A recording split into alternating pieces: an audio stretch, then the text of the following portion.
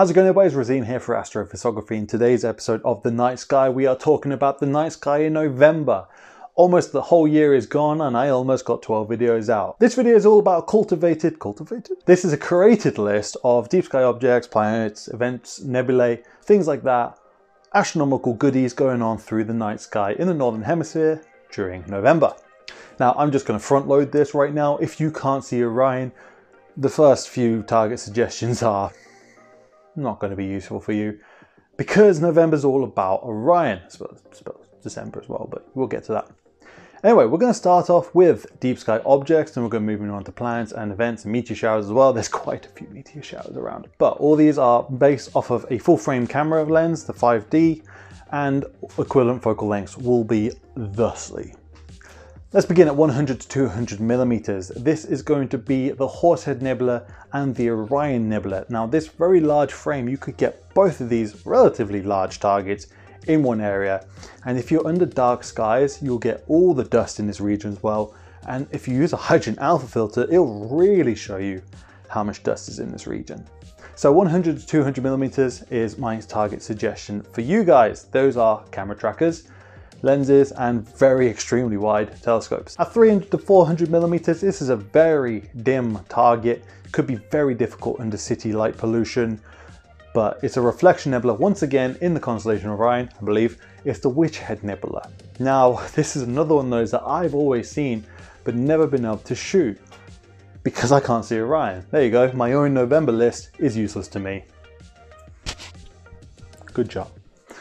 So the Witch Head Nebula is just quite close to the Orion Nebula. It's a very, it's a reflection nebula that's energized by the near, nearby star. So because it's a reflection nebula, broad, narrowband filters are not going to be useful for you. It's all about the broadband. So give it a go if you have nice dark skies and a good access to it. Or star tracker in a wide field telescope. At 7 to 800 millimeters, there's only one target I'm going to be recommending for you. You know it's coming, that's M42, the Orion Nebula. Now, a lot of people cut their teeth on this nebula, including myself. It's one of the easiest to find, easiest to photograph, but very difficult to master because it has an extremely bright core of stars.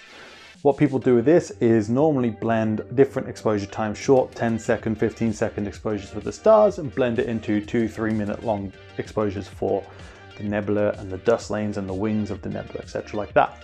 It is emission and reflection, so it will respond to hydrogen alpha imaging. So 700 to 800 millimeters, you go get yourself some Orion Nebula. Do it for me because I can't see it. At 1000 millimeters, I'm talking about M78, Casper the Friendly Ghost Nebula. Now you may have heard of the cartoon if you're young enough. Now Casper the Friendly Ghost is in the constellation of Orion. It's very close to the Horsehead Nebula and the Orion Nebula, just a little bit up. Quite small, a little bit dim, but has some very intricate detailing to it.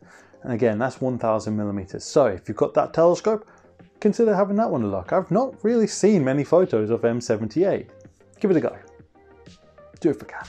Now, one and a half thousand millimeters of focal length, the larger telescopes are actually finally getting out of Orion now, so you can start paying attention to the video again. This is NGC 7129, the small cluster nebula, and this is in the constellation of Cepheus. Of course, I'm not going to go through one of these without repping Cepheus.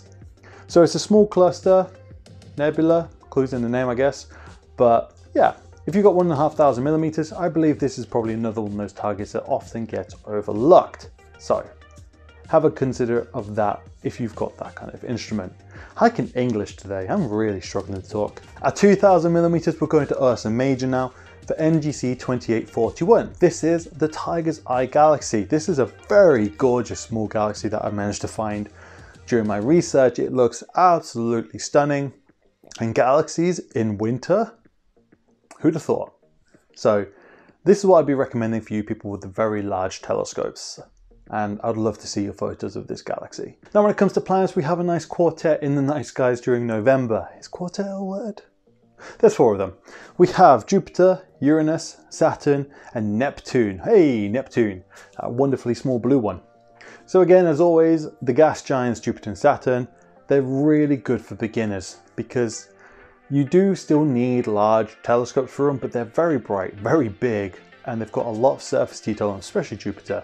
that would be very rewarding for beginners and more straightforward to focus on when you get to things like Neptune and Uranus, however, they're just small blue balls in the night sky, even with very large telescopes. So, have a go at these targets. Like I said, they all go above about 20 degrees of altitude from my latitude in the United Kingdom. I'm around the Midlands area. So if you're much higher up, they're going to be lower. If you're lower down, they're to be higher. Check Stellarium. That's what I do. Where do you think I got this list from? Now as for meteor showers throughout November, sit down, buckle up, strap in, because there's quite a few. From the 14th of November to the 6th of December, peaking on the 28th of November, we have the Northern Orionids meteor shower. So that's going to be an interesting one. Again, if you can't see Orion, probably useful list for you. But there's one of them. Next up, peaking on the 5th of November, so I suppose that actually should have been first, is the South Taurids.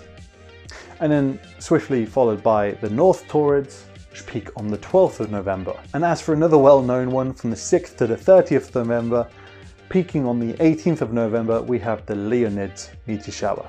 So quite a few to do. These are really good for static tripods. So if you've only got a tripod and a shutter cable, go out there and do meteor hunting. You set a long shutter and you, I guess, hope. and there should be nice streaks through the night sky. So there's your four meteor showers for November the greedy month. As for a couple of events, it feels a bit strange giving them their own little subject here because there's only a couple of them. However, one of them's a bit of a doozy. On the 19th of November, which is the full moon, it's a partial lunar eclipse. So we're going to get the nice red moon in the sky. Depending where you are will change how much of the lunar eclipse you see. Knowing me in England, it's either going to be a very poor show or it's going to be cloudy. Probably cloudy, this year's been terrible. Also, Uranus is at opposition. I forgot to write down the direct date, so editing Ruz is going to add the date right here. Aren't you editing Ruz? Yes, you are. Anyway, speaking about the lunar eclipse, we're going to go on to the lunar phases now. The new moon falls on the 4th of November. The first quarter falls on the 11th November. As previously mentioned, the full moon is on the 19th of November, and that's the beaver moon and the last quarter is the 27th of November. In November, the beavers were really busy and really active preparing themselves for the winter to get through the winter. It's for this name that the beaver moon became the beaver moon. However, sometimes it was also referred to as the frost moon, probably for obvious reasons, being wintertime, in case beavers aren't your thing. And with that, that is the Night Sky in November all completely wrapped up. I hope you'd enjoyed the video.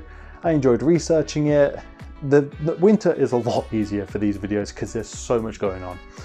Anyway, if I've missed something that you think is worth mentioning, drop it in the comment down below.